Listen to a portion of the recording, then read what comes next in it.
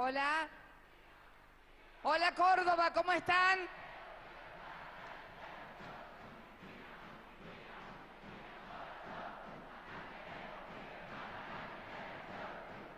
Muy buenas tardes. Muy buenas tardes a todos y a todas. Señor Sergio Barchioni, CEO global de Fiat. Este señor es muy importante. ¿eh? Este señor convenció al presidente de los Estados Unidos que le vendiera el 60% de Chrysler. Fiat controla el 60% de Chrysler, así que siempre lo consideré que debe ser un hombre muy inteligente para convencer y el 100% del management. También, señor Rígano, que es el responsable de Fiat Industrial. Muchas gracias, señor Intendente de la ciudad de Córdoba, Ramón Mestre. Sin silbidos. No, no, no. Nosotros no peleamos a nadie. Nosotros no peleamos a nadie. Yo vengo a Córdoba a ayudar y a trabajar, que es como tenemos que hacer en todas partes. Dejemos que otros hagan otras cosas, nosotros a trabajar. Luego el pueblo decide soberanamente y cada uno analizará. Me parece, me parece importante, me parece importante lo que estamos haciendo hoy aquí. Y además sí, aquí me voy a tomar una pequeña licencia, si me permiten. Ah, perdón, señor secretario general de Mata, Piñanelli, gran compañero también. Me había olvidado, gran compañero. Y a todos los amigos, amigas, compañeros, compañeras, cordobeses, cordobesas, cualquiera sea la profesión, el lugar, la historia, la pertenencia. Hoy estamos en un día de mucha alegría, de mucha felicidad para los cordobeses en particular y para los argentinos en general, porque estamos inaugurando una planta industrial donde vamos a hacer estas maravillosas cosechadoras y además tractores que están allí al costado, marca Case y New Holland, que son la más alta tecnología en el mundo y que convierten, y que convierten a esta planta en la planta productora de bienes de capital más importante de la República Argentina.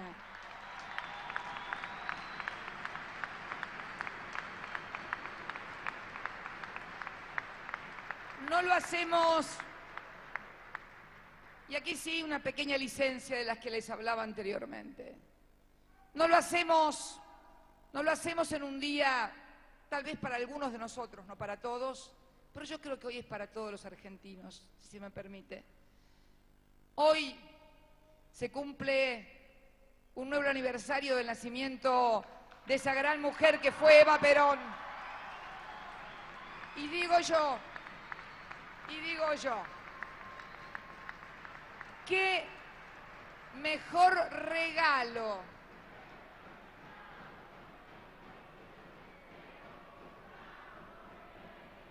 qué mejor regalo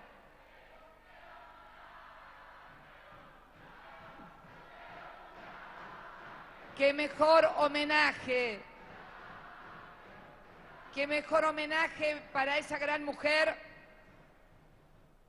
que quiso estar luego de que partiera para siempre en el edificio de la Confederación General del Trabajo, qué mejor homenaje un 7 de mayo abrir una planta de trabajadores, de obreros. De esa manera se recuerda y se homenajea. Pero además también tenemos que festejar, si bien estamos en el sector industrial de Fiat, como lo decía su presidente y CEO global, los récords que hemos tenido en este pasado mes de abril, comparando abril del 2012 contra abril del 2012, del 2012 bien digo, sí, en todo el sector automotriz. Producción nacional hemos aumentado un 37,8% de 54.772 vehículos a 75.496. Ventas de concesionarios, hablaba recién Rígano y Marchione, aquí hay concesionarios, acá hay proveedores, autopartistas. Bien, ventas de concesionarios de los 65.760 vehículos vendidos en las concesionarias en abril del año pasado. Este año hemos vendido y batido récord de récord para abril, 85.533 vehículos, un 30% más y en exportaciones de 30.442 en abril del 2012 a 40.864, 34,2%. Pero esto lo estamos haciendo no en un mundo con viento de cola, sino en un mundo con viento de frente estamos teniendo estos números y lo que decía recién el señor Marchione, que de paso quiero felicitarlos por el respeto de poder traducir paralelamente para que todos pudiéramos escucharlo y entenderlo, yo lo entendía bien y lo pudiéramos leer, habla de la importancia que para el mundo y para su empresa tiene hoy la América del Sur y particularmente la Argentina. Cifras que conocemos, solamente el 20% de nuestras tierras cultivables está explotada, con lo cual tenemos un 80% de exponencial crecimiento, no solamente a partir de esta maravillosa tecnología, me he subido estas máquinas y son realmente maravillosas, estas cosechadoras. Nosotros también, Archeone, tenemos las mejores sembradoras del mundo, así que Creo que con nuestras sembradoras, con las cosechadoras y con la biotecnología que hemos desarrollado y con la tierra que Dios nos dio, porque vamos, acordémonos de Dios también un poco, hemos nacido en un país con una tierra maravillosa que debemos agradecer, nos convierte en productores netos de alimentos y por lo tanto en un lugar para desarrollar la industria. Y la verdad que hoy estamos muy contentos porque esto que estamos inaugurando hoy, esta planta modelo, recuerdo hace un año, un poco más de un año, que estuvo en mi despacho eh, el señor Marchione, acompañado también del señor Rígano y de otros ejecutivos, y estuvimos hablando de esto. Esto tampoco es casualidad. Esto es obviamente una decisión de la empresa porque le conviene a la empresa. Ninguna empresa toma ninguna decisión de beneficencia, sino teniendo en cuenta las utilidades, las potencialidades y la competitividad del país. Y también es para nosotros un orgullo que una empresa de esta magnitud haya confiado en nosotros, pero es también producto de las políticas públicas que hemos llevado en materia de administración de comercio que permite y también sugiere que lo que se consume en la Argentina y se va a consumir mucho más, sea producido también en la Argentina. Por eso estamos muy contentos y estamos en una primera etapa de producción que me gustaría leer porque nosotros estamos hablando de las integraciones que necesitamos, no solamente en, en, las máquinas que estamos hoy aquí, sino en general, en toda la industria automotriz para dar mayor entramado, mayor densidad a todo nuestro sector autopartista. Y hemos cambiado las definiciones y cuando hablamos de integración, antes cuando se hablaba de integración se hablaba con incluida mano de obra, incluida logística, incluida servicio. Hoy comenzamos a hablar de integración fierro por fierro. ¿Qué es fierro por fierro? Simplemente vamos a considerar la integración de todos y cada uno de los fierros, mano de obra, servicios, logística, publicidad, que también, obviamente, dan servicios y producen beneficios eh, al país y a su economía, los vamos a considerar como un extra. Y en este plan, hoy esta cosechadora, que es la última de tecnología, tiene toda una planificación junto con los tractores que cumplir. Hoy la integración fierro por fierro es del 13%. Si no, estaríamos hablando con el antiguo criterio de una integración entre el 40 y el 52. Pero el, el proyecto es que a partir del primer trimestre del 2014, el motor CTP de Fiat se construya acá. Para eso dimos también un préstamo del Bicentenario y entonces la integración fierro a fierro pasará a ser del 20%. Y en el primer trimestre del 2015, esta máquina, maquinón, diría yo, este fierrazo que tengo atrás, va a tener una integración fierro por fierro del 35%. Esto significa un salto cualitativo muy importante. En tractores, hoy el fierro a fierro es el 18%. A partir del primer trimestre del 2014 será del 36%. Y en el primer trimestre del 2015 aquellos tractores tendrán integración fierro a fierro 50%. Esto va a exigir Esto, hoy, contando mano de obra, logística y servicios, estaríamos con los tractores ya en un 48 o 55%. Pero esto va a exigir también, por parte de toda la industria autopartista, a la cual hemos apoyado muchísimo, no solamente hemos apoyado a Fiat eh, Industrial, con créditos del Bicentenario para el FTP, sino también la inversión más grande, una de las inversiones más grandes que puso el crédito del Bicentenario fue para poner el palio en funcionamiento, eh, cubriendo el 70% del financiamiento de ese proyecto de más de 800 millones de pesos, más de 500 millones de pesos los puso los contribuyentes argentinos a través del crédito del Bicentenario, como hicimos también con todo el sector autopartista. Esto es muy importante porque produce 500 puestos de trabajo directos en forma inmediata y 1.500 indirectos. Esto significa fundamentalmente la decisión de una de las más importantes empresas a nivel global de apostar a la Argentina. Y antes, antes de ingresar aquí, le comentaba si me permite decirle, Sergio, a Sergio, eh, él me dice presidenta, yo le digo Sergio, eh, que en las últimas dos o tres semanas hemos tenido importantísimas inversiones también de compañías globales.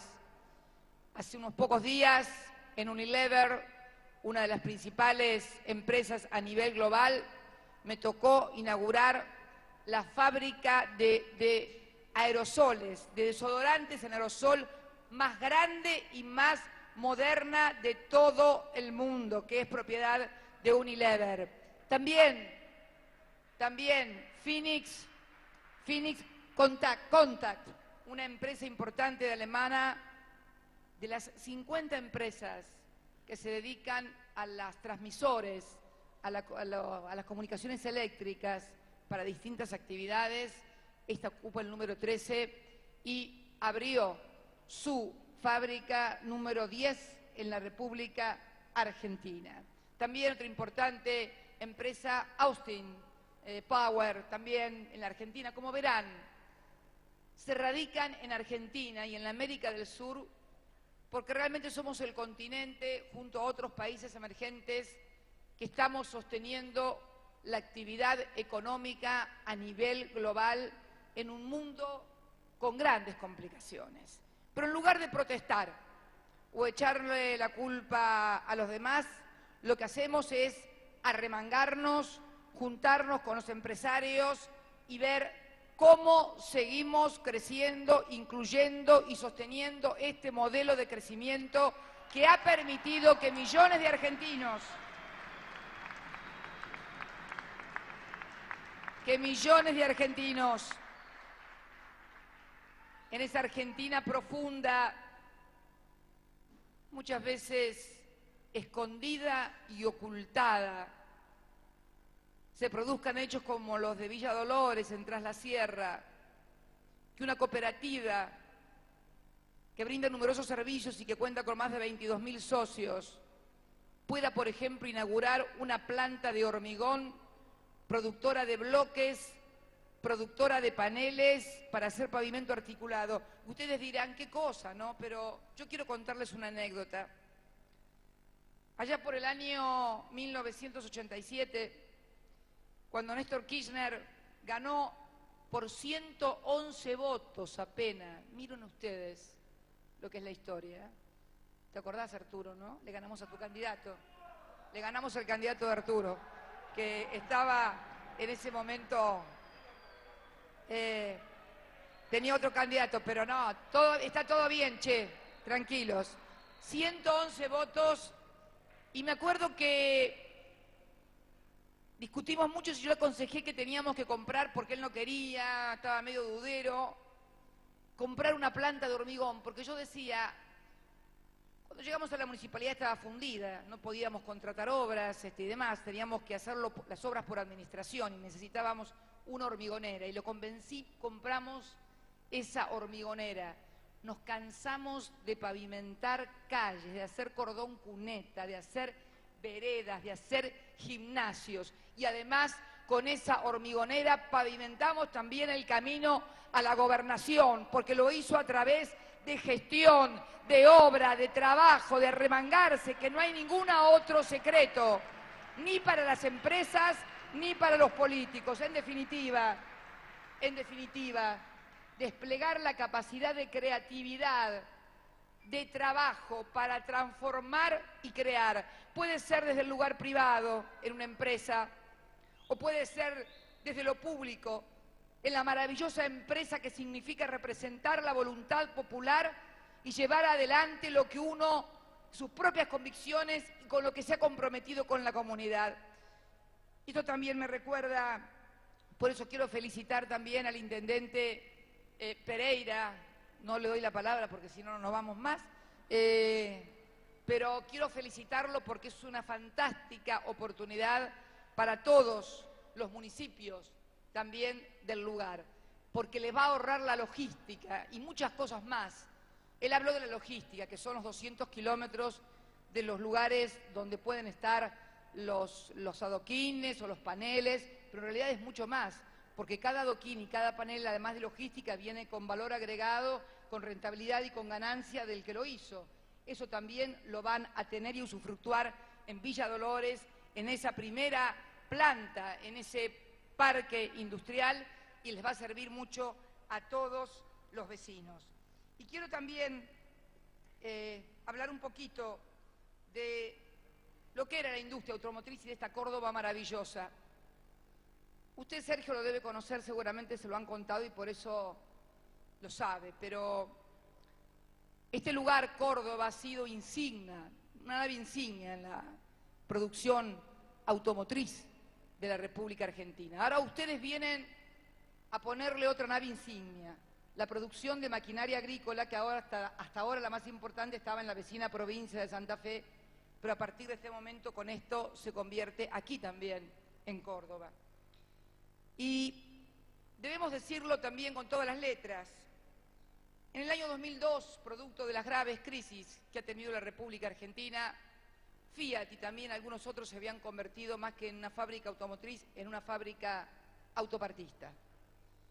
En el año 2003 se produjeron en la industria más de 17.000 vehículos. En el 2012 su producción fue de 187.537 unidades, es decir, se incrementó en un mil uno por ciento la producción.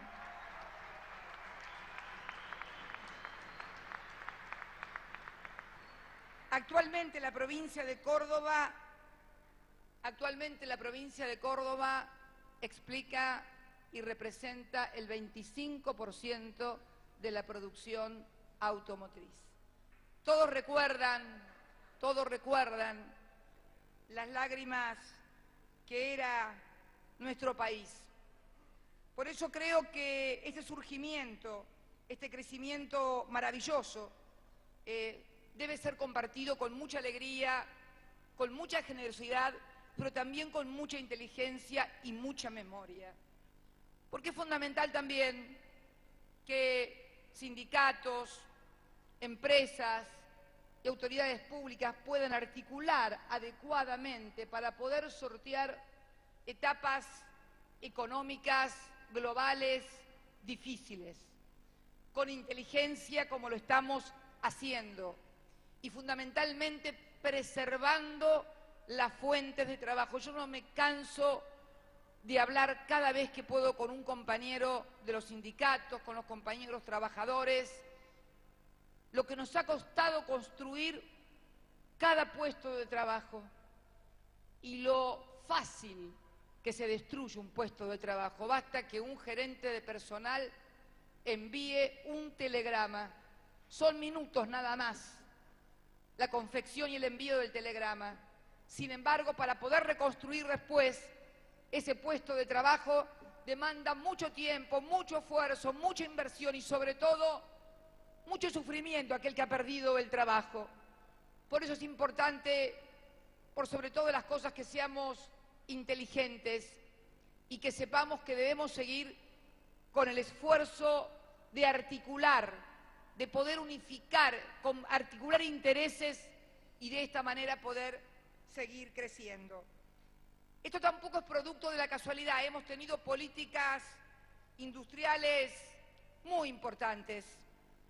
Eh, por ejemplo, en la provincia, en el sector autopartista, hay una fuerte presencia 380 millones de créditos del Bicentenario fueron para sectores autopartistas de la provincia de Córdoba y pensamos seguir apoyándolos.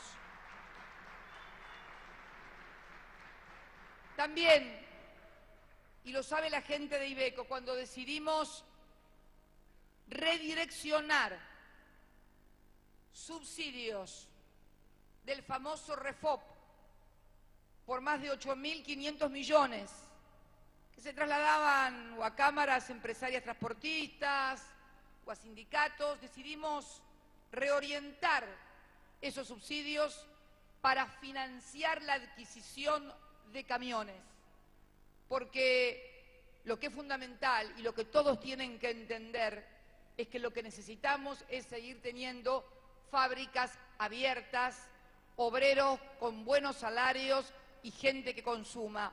Hoy, hoy, el 40% de la facturación de Ibeco, más de 3.300 camiones, se hace con la reorientación que dimos a ese subsidio del REFOP y que permite que los trabajadores de Ibeco tengan trabajo, produzcan camiones y además los transportistas lo puedan adquirir con tasas adecuadas porque lo hacemos con financiamiento a través del Banco Nación, que también coloca su parte. Esto es lo que yo digo, articulación inteligente entre el sector público y privado. No es solamente un discurso. También este país maravilloso hoy, eh, podemos hablar, no sé, no, no, no voy a hablar de la competencia, me anotaron un montón de cosas, no voy a hablar de otras importantísimas fábricas también productoras de tractores que exportan a Venezuela. Seguramente estarán por acá también, porque todos nos ponemos contentos cuando todos exportamos y cuando todos producimos. Y la verdad que eh, en el caso de una fábrica recuperada, como fue Pauni, que también hoy está teniendo una gran producción y es también de acá de ustedes, de los cordobeses. Y esto esto no es casualidad, nada es casualidad en la vida y mucho menos en la economía. En la economía son causalidades, no casualidades. Las principales políticas que hemos tenido para Córdoba y para todas las provincias, obviamente, desde el programa productivo financiamiento que denominamos Bicentenario, han sido 56 las empresas de Córdoba con 1.850 millones de pesos y con una generación de más de 3.000 puestos de trabajo, únicamente con crédito del Bicentenario. Los bonos de bienes de capital K, que no tiene nada que ver con Kirchner, se llama K porque era el inciso que venía en la ley y quedaron K, y que es precisamente, eh, bueno, el valor fiscal que premia a lo fabricado localmente para darles una ventaja. Empresas beneficiadas con los bonos K radicadas en Córdoba, 411 empresas por más de 1.700 millones. Régimen de promoción de software. Acá también hay importantes empresas de software y ojo que el software también tiene que ver con esta maquinaria porque la altísima tecnología de estas maquinarias no es como estábamos acostumbrados antes a manejar un tractor o un auto, no, no, son todas con computadora, por lo cual exigen hardware y software. Y precisamente por la ley de promoción del software que hemos sancionado durante nuestra gestión, durante nuestro gobierno en estos 10 años, hoy tenemos empresas beneficiadas, 36 en la provincia de Córdoba por más de 108 millones de pesos. El programa nacional de parques industriales, como el de Villa María, donde se dan reintegros, donde se dan eh, aportes no reintegrables de 600 mil pesos para que hablen parques industriales. Bueno, aquí han sido beneficiados seis parques por un monto de más de 2 millones de pesos y un total de 155 empresas y más de 3.000 puestos de trabajo, programas para las pymes, incluyo los programas financieros como Forampyme, empresas beneficiadas de las chiquitas, de esas que son micro, pero que generan uno, dos, tres empleos que no se ven, pero que suman.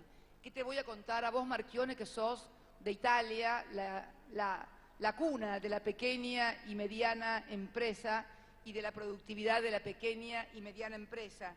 Con todos estos pequeños eh, fondos de las pymes, financieros y no financieros, han sido beneficiadas más de 48 mil pequeñas empresas por más de 3.189 pesos y más de 258 mil puestos de trabajo, IVA, saldo técnico, y puedo seguir enumerando muchísimos, pero muchísimos beneficios y promociones y políticas activas para la industria aquí en Córdoba y en todo el país porque la reindustrialización de la Argentina, volver a esa Córdoba que supo ser orgullo de la industria nacional y punta de lanza en el desarrollo industrial de la Argentina de los años 50, cuando teníamos el PBI más importante de Latinoamérica y éramos la gran potencia industrial. Aquí, Sergio, se produjo el primer avión a propulsión en toda Latinoamérica. Aquí se hacían locomotoras y material ferroviario de última calidad que hoy tenemos por allí que adquirir en otros lados porque no tenemos tiempo de montar la industria por las necesidades que tenemos. Y bueno, ya lo vamos a hacer y lo estamos haciendo por lo menos para hacer la reparación de lo que tenemos y de lo que viene. Pero el gran compromiso también es que vuelva a surgir la industria ferroviaria en la República Argentina, sobre todo para darle competitividad al agro, más de la que tiene, porque sabemos porque sabemos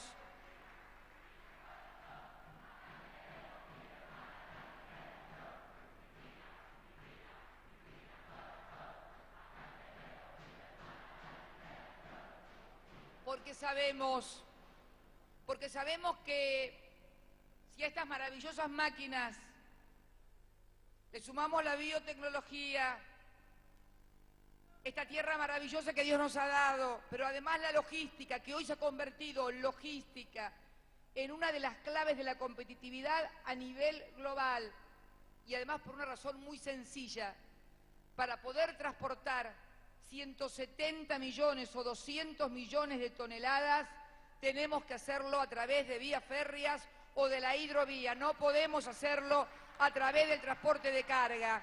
Entonces tenemos que tener la sensatez y la claridad de desarrollar un plan ferroviario, sobre todo en materia de transporte de cargas, que nos permita, con salida por el Atlántico y salida por el Pacífico, darle mayor competitividad a un sector que ya la tiene y mucha. Pero que como decía ayer, quería contar al señor Marchioni y al señor Rígano, otra vez no se enteraron, pero ayer tomamos una determinación muy importante, que es eh, también lo mismo que hicimos con el REFOP, redireccionar derechos de exportación que antes quedaban en la caja del Estado para la producción triguera, esos derechos de exportación, harina 13% y 23% para grano de trigo, van a ir a un fondo fiduciario que será administrado por el Banco Nación con el asesoramiento de todas las cámaras empresariales privadas y se le devolverá a cada productor la parte proporcional que haya declarado en la producción de trigo lo que le significará reconocerle un valor del 15% sobre el precio que recibe y de esta manera lograr más producción de trigo, más saldo exportable y por lo tanto van a necesitar más tractores, más cosechadoras, más sembradoras. Y también, vamos a decirlo con todas las letras, vamos a dejar de percibir en el Estado entre 500, si se alcanzara, por ejemplo, una producción de 21 millones de toneladas, o a lo mejor una producción como la que alcanzamos en el 2007-2008, que fue de 16 millones de toneladas y media, estaríamos dejando de percibir entre 400 y 500 millones de dólares. No nos importa que vuelvan a los productores, pero que también integran la balanza comercial, ingresan al país y significan también un incentivo y también un aliciente para mantener lo que usted recién decía, ser amigable con el medio ambiente y además no matar a la gallina de los huevos de oro, porque la gran gallina de los huevos de oro es la bendita tierra que Dios nos dio y que hay que mantenerla con todos sus nutrientes para poder seguir aumentando su productividad y su rendimiento. Y todos sabemos, todos sabemos, y ayer lo explicaba, que la rotación de suelos y fundamentalmente la siembra de trigo provee de nutrientes al suelo que permiten tener una mayor productividad y un mayor rendimiento por quintal, por hectárea, de todas las otras oleaginosas que en su gran mayoría exportamos. Así que creemos que es una medida que va casi como si fuera un rompecabezas, dos piezas de rompecabezas, lo que ustedes están haciendo aquí hoy y la decisión que tomamos ayer nosotros. Esta Argentina, como decía, en un mundo complejo y complicado, pero que lejos de llevarnos a la queja o a buscar culpables, nos lleva a mirar los números, a mirar lo que hicimos en los 10 años, redoblar el esfuerzo, cambiar lo que haya que cambiar, profundizar lo que haya que profundizar y seguir para adelante, porque el porvenir todavía lo tenemos que seguir construyendo todos los días. No nos quedamos únicamente con lo hecho, vamos por más. Los indicadores económicos de una Córdoba también importante, un producto bruto geográfico que en el año 2003, cuando Néstor Kirchner llegó a la presidencia, con apenas el 22% de los votos. Yo no sé si tendrá algo que ver, 111 votos como intendente, después 22%, los dos patitos, 11 más 11, 22, será casualidad. Pero en el año 2003, en dólares, el Producto Bruto Geográfico de Córdoba era de 9.800 millones de dólares. Hoy después de 10 años de nuestro gobierno, es de 33.239 millones de dólares. Estos son los números. también el empleo registrado en 1996 de 264 mil trabajadores o en el 2003 de 286 mil trabajadores, fíjense qué poca oscilación, a este 2012 con más de medio millón de trabajadores registrados en la provincia de Córdoba.